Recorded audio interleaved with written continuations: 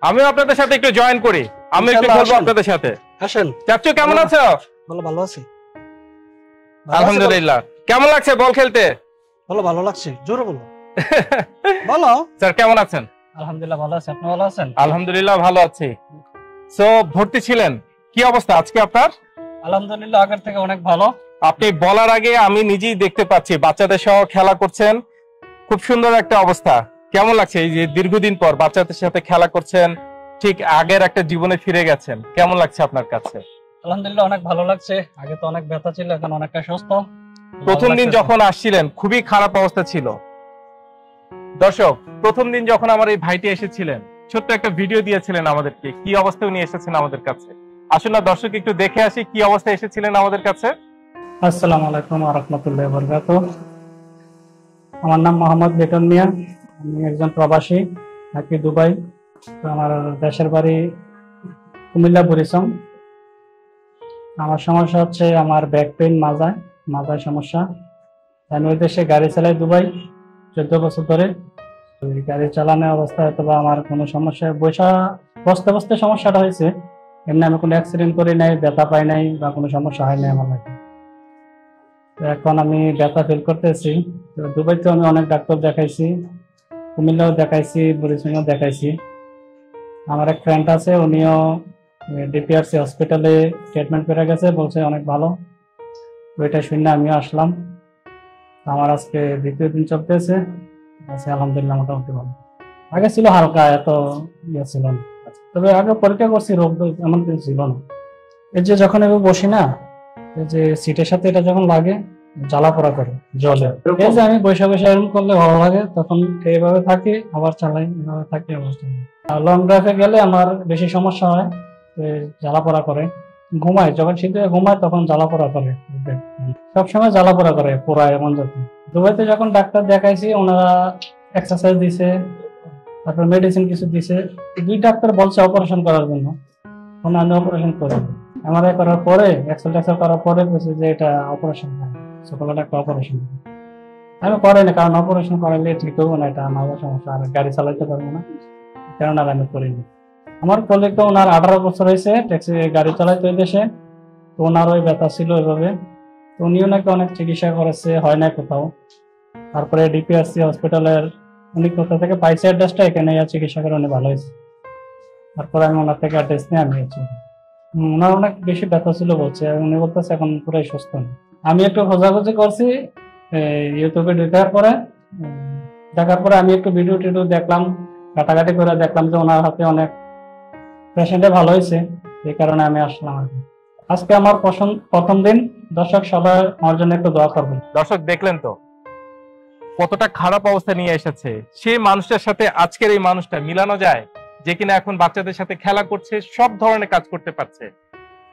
যা যা করতে পারতেন না যে প্রথম দিন এসেছিলেন মনে আছে তো সবকিছু? মনে আছে। সেই অবস্থা থেকে আজকের এই অবস্থায় পার্থক্য কি? একটু বলেন তো আমাদেরকে। আগে তো অনেক সমস্যা হতো খেলাধুলা করতে পারতাম না পা ব্যথা হইতো মাঝে অনেক সমস্যা ছিল জ্বালা পোড়া ছিল। হুম হুম হুম। আলহামদুলিল্লাহ এখন আর এগুলি নাই অনেকটা সুস্থ আছি আগের মতন। এখন কোনো ব্যথা ট্যাথা নাই খেলতে পারতেছি হাঁটতেছি ঘুরতেছি। সেই যে একটা হতাশ ভাব যে কি হলো আমার? আমি কি সুস্থ হব না? আমি কি ভালো হব না? বা এই যে একটা সবসময় একটা হীনমন্যতা কাজ করতো সেই অবস্থা থেকে কি এখন চলে আসছেন ফিরে আসছেন? হ্যাঁ আমি এখন আবার আমার আগের জীবনে ফিরে এসেছি। যখন ভর্তি হয়েছেন ঠিক কতদিন থেকে বুঝতে শুরু করেছেন ধীরে ধীরে সুস্থ হচ্ছেন? আমি তো তিন চার দিন পর থেকে মনে হচ্ছে যে আমি সুস্থ হয়ে গেছি। চার পাঁচ দিন চিকিৎসা নেওয়ার পরে আমার কাছে অনেকটা সুস্থ লাগছে। আমার সাথে আপনার যতবারই দেখা হতো জিজ্ঞেস করতাম কেমন আছেন? এবং সবসময় আপনি হাসি মুখে বলতেন যে আলহামদুলিল্লাহ আগের থেকে ভালো আছে আগের থেকে ভালো আছে। So day by day development করেছে। সো আমাদেরকে যদি একটু চিকিৎসা ব্যবস্থা সম্পর্কে একটু বলেন যে স্যারের চিকিৎসাটা কেমন ছিল? কারণ এর আগেও আপনি হয়তো অনেক জায়গায় ট্রিটমেন্ট করেছেন, অনেক হসপিটালে গিয়েছেন, অনেক দেখেছেন। এখানকার যেমন মেশিনারিজ বলেন মেডিসিন বলেন, বা স্যারের ডে টু ডে স্যার যে ট্রিটমেন্ট দিয়েছেন টোটাল ব্যবস্থা সম্পর্কে যদি একটু বলেন, কেমন বা কি ছিল? না, এখানকার চিকিৎসা অনেক ভালো, এখানকার স্টাফও অনেক ভালো, নার্সগুলো অনেক ভালো, যারা থেরাপিস্ট দিত তারা অনেক ভালো। আপনার দশ মিনিট পর পর বা আধা ঘণ্টা পর পর একজন যে দেখাশোনা করতো, কোনো সমস্যা হলে এরা দেখতো। থেরাপি যে দিছে তারা অনেক ভালো। আমাকে বলতো, এভাবে এক্সারসাইজ করো বা এটা করো এটা করো। আমি ওদের রুলস ফলো করছি, তাই জন্য তাড়াতাড়ি সুস্থ হয়ে গেছি। ভেতর এখন কনফিডেন্স কেমন আছে? কি মনে হচ্ছে? ঠিক আগের যে লাইফটা ছিল, সুস্থ লাইফটা সেই লাইফটা এতদিন পরে ফিরে পাওয়ার পরে কেমন লাগছে? এই যে পরিবার পরিজন নিয়ে ছাদে এসেছেন খেলাধুলা করছেন মানে মনে আসলে শান্তি যখন আমরা আসলে অসুস্থ থাকি মনে কোনো শান্তি থাকে না তখন পৃথিবীর কোনো কিছু আসলে ভালো লাগে না। হ্যাঁ, আর যখন আমরা সুস্থ হই মনে হয় যে মুক্ত স্বাধীন পাখির মতো। হ্যাঁ, এখন তো অনেক ভালো লাগতেছে। আগের মতন ফিরে আসছি যখন আগের জায়গায় ঘুরতেছি হাঁটতেছি কোনো ব্যথা নাই। আগে তো কোথাও গেলে ব্যথা পাইতাম বা হাঁটতে ভালো লাগতো না।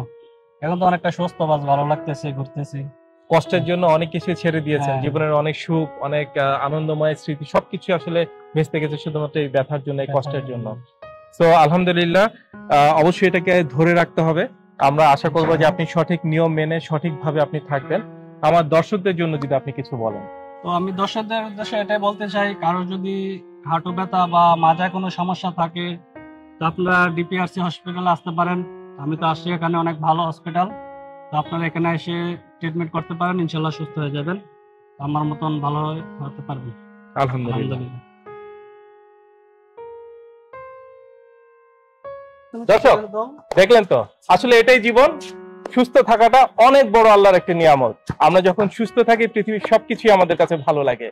এই যে দেখুন একটা পরিবার এই যে পরিবারের সাথে হাসি খুশিতে থাকা ভালোভাবে থাকা খেলাধুলা করা এটাই আসলে কোয়ালিটি টাইম আমরা যদি নিজেরা সুস্থ না থাকি আমরা কখনই আমার পরিবারকে বা আমার আশপাশে যারা আছে তাদেরকে আমি কোয়ালিটি পূর্ণ টাইম কখনোই দিতে পারব না আমি নিজেও ভালো থাকতে পারব না। তো দোয়া করবেন আমার এই ভাইটির জন্য যাতে উনি ওনার জীবনের বাকিটা দিন ঠিক এমনটাই হাসি খুশি আনন্দে কাটাতে পারেন সুস্থ থাকেন ভালো থাকেন এবং আশা করব আপনারাও সুস্থ থাকবেন। আসসালামু আলাইকুম। ইয়েস